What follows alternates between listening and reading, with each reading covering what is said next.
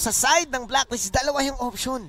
Meron silang Chicho Dog, may Vision, meron din silang Digi. Ang dam, parang Tony Gonzaga, no? Oo. Option, option, option. Option, option, option. Ang, ang, ta- ang tagal na nun ha, Rob No. Luna.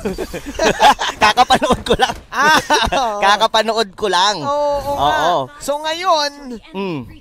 it's all about the vision game for both of the teams. This is still the same lineup naman para sa side ng NXP kung saan. Ay. Ito yung ano nila eh, parang forte nila eh. Action Jackson type ng heroes. To, tama tayo ng Nostramanjin. Uy, uy. Pero, naka-pull yourself together siya. Pero sabi dito ni... Ah, okay, gets. Gets ko. Ah, sinaktuhan niya lang. Tinanggal niya lang yung mga traps. Tinanggal niya yung mga Tinanggal abyssal trap. Hindi pa natin masabi kung ito pa din yung gustong mangyari dito.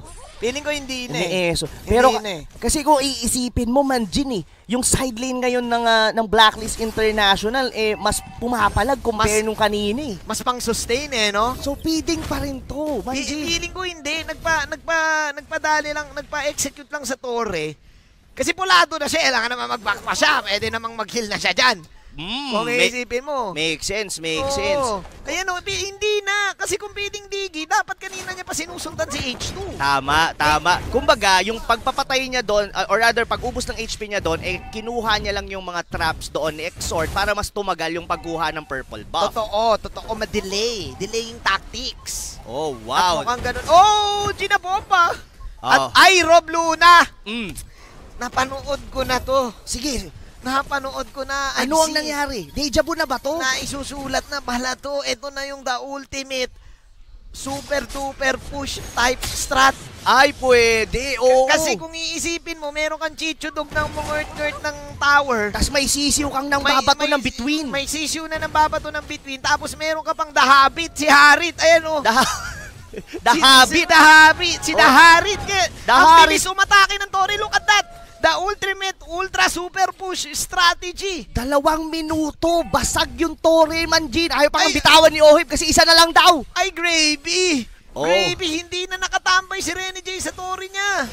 Isang uwi lang yun, Manjin ha. Oo. Pero nakuha naman dito ni H2 yung turtle. Yeah, tingnan natin kung may fight na mangyayari. Pero wala. Ginib up dito ng Blacklist yung Turtle. Nice Turtle take para kay H2 naman dito. Knowing NXP, ah, for sure, aminado din sila na it, ilang beses na rin nangyari sa kanila tong ganito. Pero, ang pwede nilang gawin dito, Rob, is wag lang mapusyan eh. Oo. Pwedeng dapat dumepensa muna sila sa mga tore kasi parang hindi ito yung laro na gusto ng NXP. Gusto ng NXP, suntukan eh. Gusto nila yung ano eh, balagbagan eh, Oo, yung sabay balugbugan eh. Sabay sab- pagbigkas. sabayang pagbigkas. And this is this, uh, the same hero for Eson but a complete and different strategy yung Et- pinapakita niya sa atin. Ito yung sinasabi mong side B, pare. Eto na nga. Ito na pala yun. Oh my, pero a switch in lanes ang ginawa Oo. dito ng Blacklist since si Oheb eh nagawa niya na yung trabaho niya sa top lane, ang magbasag. Oh my, at nakapatay pa si Edward.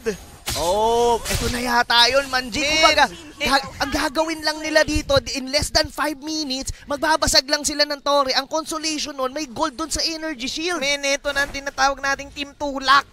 Tulak, Tore.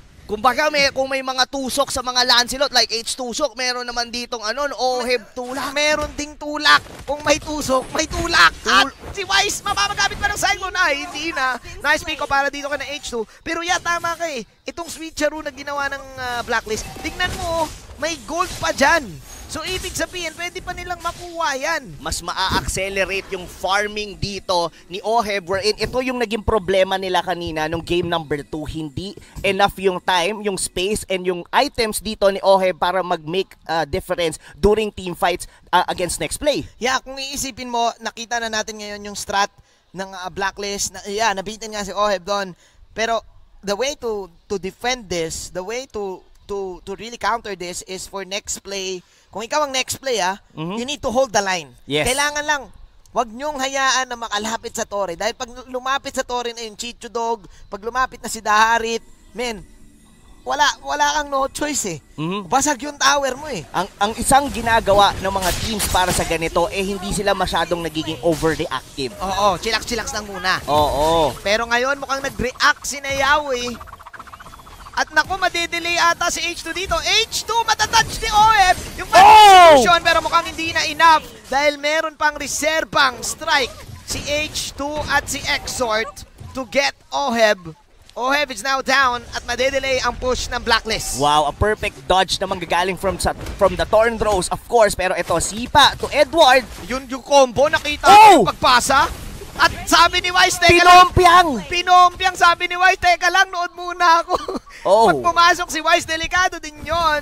Renny J with, the, oh, with an assist para dito kay Yawi. Napakagandang combo mula doon sa Way of the Dragon. Pero ngayon, Manjin, ha, mapapansin mo, ha, next play esports, sabihin na natin dito na maganda yung naging rotation dito ng Blacklist International. You have to uh, give uh, comment pa rin dito sa next play kasi yung gold hindi ganun nalalayo. Totoo, no? Kaya rin kasi nilang dumamage talaga Rob Luna eh. Yung lineup kasi nila dito pang early game damage! H2O with a retry. That is a classic of course. The Thorn Throws. Pero sabi ni Wise, ako naman ang tutusok. This time, ako magte-tempest of blades. Kumuha siya dito ng isang blade. At ngayon, pulado na si Nayawi. Kumagat na naman ang Blacklist.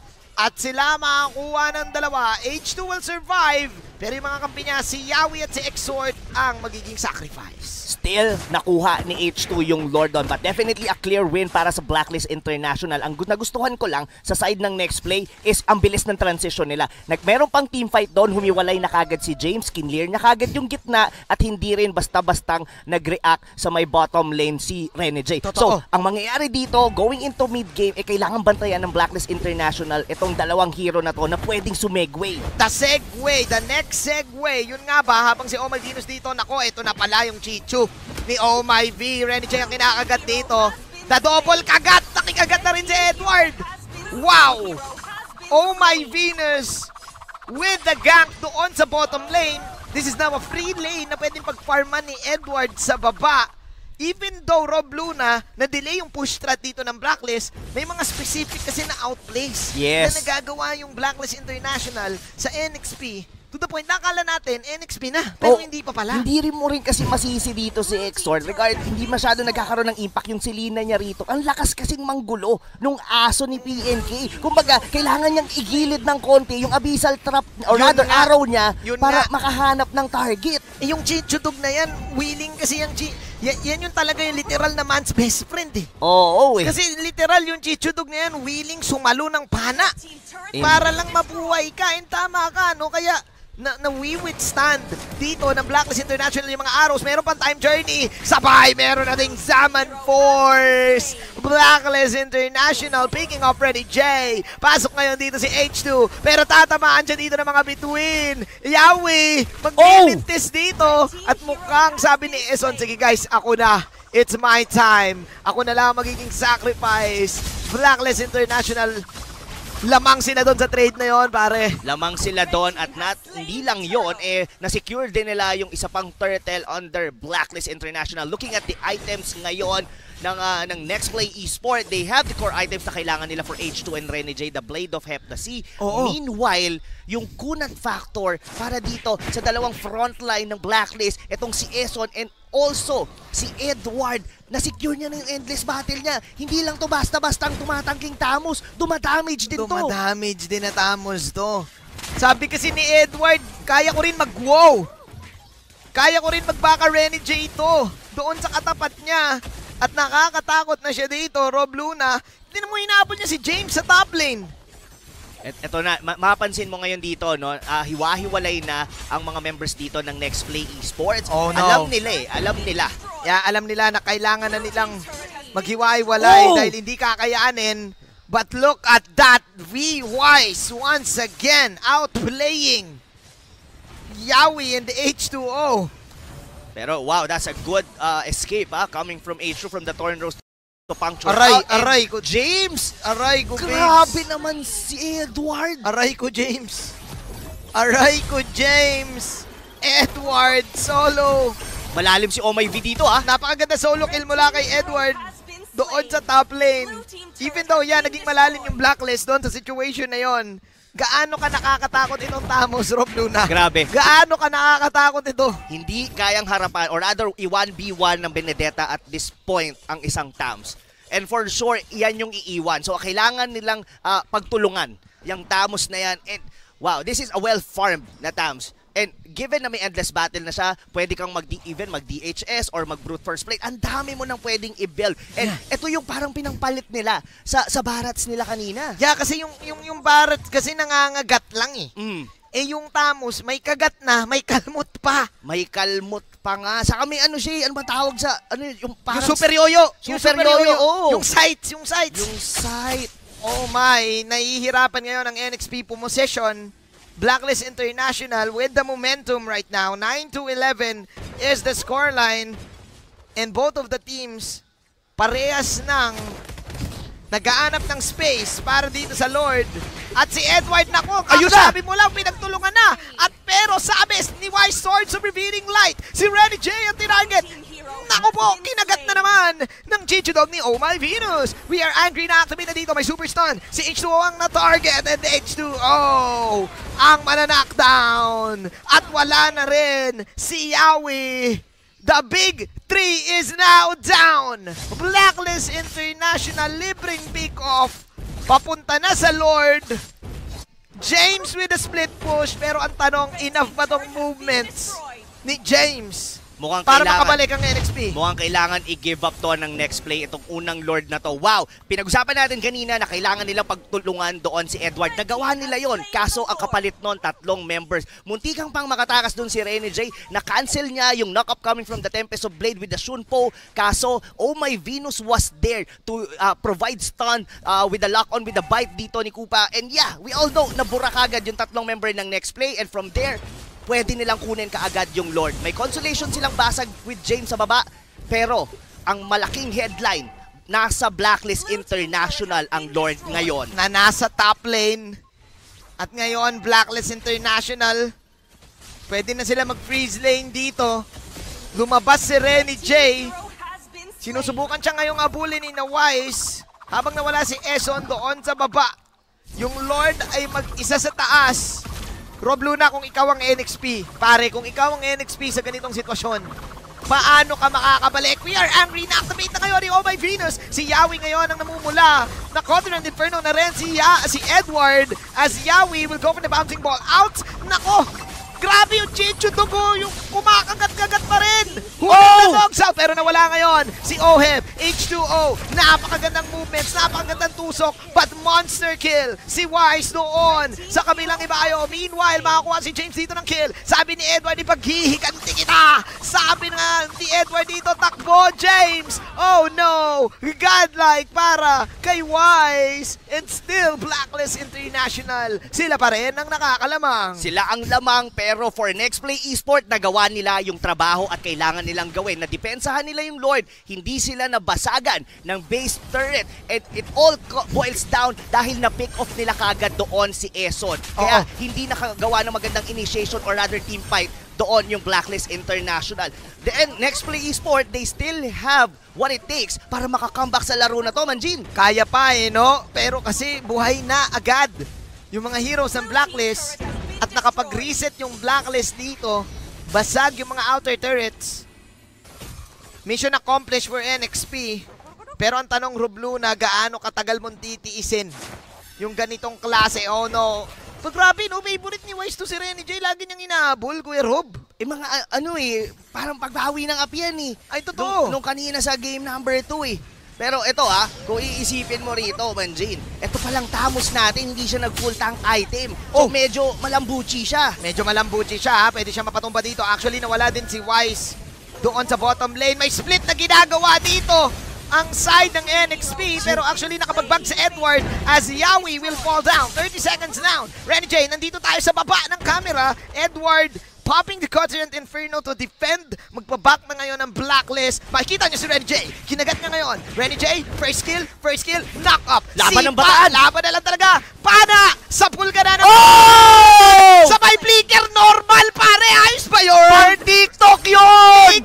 Freestyle show! Pero bitin pa rin! Dahil nandito na si Oheb at si Venus. Not in my house, sabi dito ni Venus, 15 to 18. Napakalupit naman ang laban na to, Rob. Grabe, grabe. Ito, ito, ito yun eh. Pwede kasing makakomeback doon si Edward, maka-lifesteal siya. Kaya medyo umiwas ng bahagya doon si Renny J. Tapos nung nakita niya yung passive niya na ready na, bumalik siya, sumapak. Pero speaking of sapak, Black is international pa rin. Oo, men. Sabi ni Venus dito, kahit na anong klaseng mga highlight plays ang ginagawa nyo, yung Chicho Dog ko pa rin ang magwawagi ang unat ng Chicho Dog, pare! Mumangert-ngert! Wise dito tumusok sa apat! Si Wise ang mawawala dito, mapapatumbod siya ni H2O. Pero still, Blacklist International controlling this game. Look at the scoreline ngayon, Rob Luna ni Oh My Venus. 4-1-11. The Queen is now online. Oh yes, definitely online dito yung PNK natin. And kung iisipin mo, ah, this is a PNK na may DHS. Oh my, may physical damage dito. Pero ito ha, mukhang round 2 Round ng laban ng taga-bataan. Ako napapasok na lang dito si H2O mag-isa! Oh, Oheb! no. Oheb with the backup. Oh no, mapapauno ka talaga dito, Rob, no? Parang yung side ng NXP, gusto na nila mag-split na mag-split dito, pero nakaabang lagi itong Blacklist International. At kailangan, wag nilang maliitin si Oh My Venus. Pero kasi man, Jin, napaunaw ako doon kasi si H2 yung napitas doon at pwedeng Ay, oh. kumuha ng Lord ang blacklist ngayon. Oo nga, no. Ayos ba yun? So, niray mo din ah. Oo. Pero, Oo nga, pero, no. pero ito ah, ito, maganda ang positioning dito ng mga members ng next play. Pwedeng sumegway dito si Rene J sa baba, pero ang hirap. Exort. Mas still kaya nila to? pana dito, pero nako, nakay-wise pa rin ang huling alakhak. Pasok dito si Yawi, nakap sa dalawa, pana para to kay Exort. Pero Wise, nakikipagtusukan. James, ngayon, tumatakbo. Habang yung Lord ay nagmamarcha na papunta sa taas, buhay dito ang side ng NXP. Na-cancel yung TP ni Rene J. Kinancel ng Chicho Dog. Sabi dito ni Oh My Venus, bow down to the Queen. Oh My Venus, hinahabol yung show. Oh! Chicho Dog inaatake dito. Venus? Pero sabi ni Exort, teka, kailangan natin ng suporta. Nakabawi sila doon sa pick-off kanina pero Manjin, buhay pa din yung Lord. Makinidepensahan kaya to ng NXP. Tignan natin ha, wala si The Queen. The Queen is down for 30 seconds. Yung Lord ay nasa top lane. NXP, apat din sila dito. This is a level 2 Lord na pwedeng lumatsyada. Sabi ni James, kailangan ko na gamitin yung ultimate ko. Panahon na. Pero sabi ni Edward, ako din. Mapapagamit na. Pana, nilabas ang espada Oheb! ni Oheb dito. Pinagsisipa-sipa ni Renny J. Tapos si Renny J pulado na ngayon. Pero si H2 makakuha dito ng lasit. H2 tumatakbo. Napakagandang dash mula kay H2 dito at buhay pa rin ang NXP. Sabi ng Blacklist International, retreat. Nakita mo yung puncture doon ni H2 gumamit ng protractor. Nag-iiba't-iba ng posisyon. Parang measured eh, no? Calculated. Oh no, yung what? puncture niya, puncture. Puncture, natakas siya dahil hindi siya napatay doon ng mga members ng Blacklist International Manjin. Kaso ang hirap nito, yung blacklist parang unti-unting, unti-unting nagka-crumple. Wala din kasi si, wala din kasi si Venus dun eh. Kung baga, pinagtulungan si Venus nung dalawa eh. Mm. Napitas siya eh. Yun yung ganti ng api eh. Kasi 'di ba, nung kanina, kaya nakuha ng blacklist yung Lord is dahil napitas si H2. Oo nga. Ngayon, they return the favor, kinuha naman nila si Oh My V. Pero papansinin mo ha, dalawang Lord na ang binabato ng blacklist pero next play, nadidepensahan nila ng maigi kasi ah, inuunahan nila yung bla- ano eh, yung blacklist. Hindi nila hinihintay yung lord na dumating. Kumukuha sila agad ng isang pick off para mas maging madali yung di- ah, yung defense ah, position nila. Pero hindi rin pwedeng magtuloy-tuloy na ganito ang scenario for next play. Kasi yung susunod na lord mas Iba na. makunat na yon level 3 na yon Iba na. and we are already approaching another 20 minute na kung saan tumatagal ang respawn ng mga heroes natin. Tinatawag natin tong TikTok timers kung saan umaabot ng 1 minute, 2 minutes. Mhm. Yung mga yung mga timers, ng death timers, pwede ka pang magtimpla ng kape or pwede ka talagang mag-TikTok. Yan diyan, both of the teams making errors din sa kanya-kanyang bahagi. 'Di ba Parang may mga part na overextending, outplaying na eh. Yung Mhm. nangyayari eh. Renny J creating space for his team. Iba na to eh. Kumbaga, pagulangan ang nangyayaring laban dito. Pagulangan, Rob Luna. Pagulangan, pagulangan talaga. Pero kung papansinin mo, going into late game, slightly, next play, mechanically, parang mas nagiging okay yung hero nila. Kasi ang dami nilang option in terms of mobility. Pwedeng pa- sumolo dito si James, pwedeng sumolo dito sa si Rene J. Tapos, ah, etong si Exhort is actually placing traps at the right position just to provide vision. Yeah. So, ngayon, kailangan mag-ingat dito ng Blacklist. Nasa kanila pa rin naman ang tempo ng laro na to. Pero Yeah. hindi sila pwedeng mapitas pa isa-isa dito. May merong sinabi yung panel natin kanina, sinabi rin ni Wolf yun eh. Alam dito ng next play na magtatabi-tabi ang Blacklist International. Nag-bait si Edward dito. Napapop siya dito ng Cardinal Per- Perno. Laban daw sabi ni Edward. Pero pumasok dito si H2O. Naku po, nahuli si H2 ng spila ni Oheb. At ngayon si Exhort na naman. Sabay yung si The Queen. Yung Chichi Dog ni Oh My Venus dito ngumangart-ngart. Ngumangart-ngart. Naka-max bite. At si Yawi ginawa na lang lahat ng makakaya niya. Kinumpasan niya na lang dito yung hangin para mabuhay. Mukhang buhay nga siya dito, Rob Luna. Pero yung mga kampi niya ay hindi. Blacklist International, they will pick off two. Renny J will try his best para dito sa diversion play na to. Pero mukhang eto na ata ang push na hinahanap ng Blacklist. Mukhang ito na yon. Posibleng makabasag dito ng base turret pero wow, ang kunat doon ni Yawi, hindi pa siya doon namatay. Yung death timers dito ng dalawang members ng NXP, aabot pa sila dito pero delikado tong base to- to- turret sa gitna. Totoo na ata to, pare koy. Basag yung tower, mabubuhay na si H2, mabubuhay na si Et- E- Exhort. Blacklist International, sabi ni Oheb dito, sabi ni Venus, teka lang guys, guys, legit.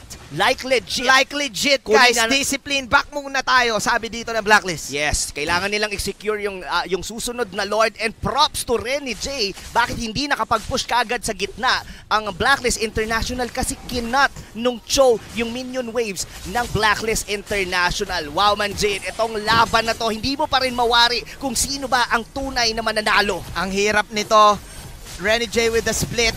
Iba talaga kapag master mo ang isang hero. Alam mo kung kailan ka mabubuhay. And the NXP, they will manage, they will still manage to defend this. Blacklist International trying their best para talagang ituloy-tuloy. Oh Renny no! J? Renny J, may bait play ba na magagawa dito? Magkahabol, mag-aabang ang NXP. Venus, siya ang nauuna this time. Wise! Oh! The fake!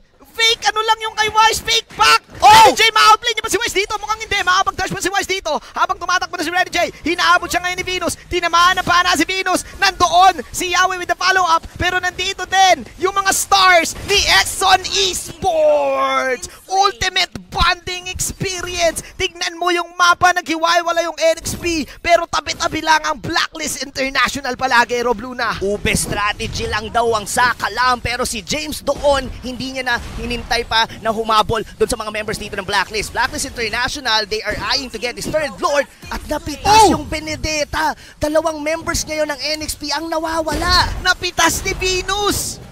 Bow down to the queen talaga, H2? pare ko. H2O, mapasok dito ng kanyang ultimate. Puncture. Oh! H2O with the steal of a lifetime. Pero, Pero, enough ba to, Rob Luna? Yun ang malaking tanong. Enough na ba yon? Sapat na ba yung Lord na yon para madepensahan ang sugod ngayon ng Blacklist dahil kompleto sila ngayon? Lagi mong tatandaan, 20 minutes na, TikTok timers na, 45 seconds tulog. Si H2, si James 23 seconds. Blacklist International, mukhang dederechoin na nila. Bow down to the Queen. Oh my Venus will still reign 29 to 18 at hindi pa rin natatalo. Hindi pa rin talaga matitibag. Blacklist International is still number one. Blacklist International using almost the same draft ng game number 2 with a complete different strategy. Like legit, this winning moment is brought to us by Master Poging Pogi. Ang Blacklist International doon sa laban na yon. Yeah, speaking of Foggy, ngayon ko lang naramdaman yung nangyayari